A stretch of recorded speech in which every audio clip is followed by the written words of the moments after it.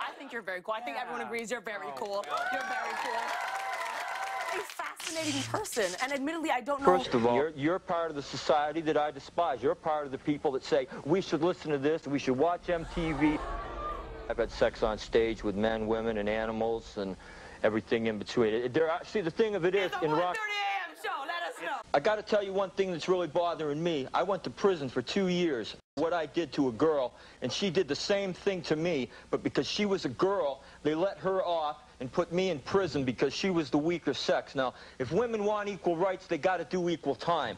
Okay, I cut her, I burned her, I drank her blood, but she also did the same to me. It was a consensual agreement, Well- but in the courtroom, they said that I was to blame. Okay.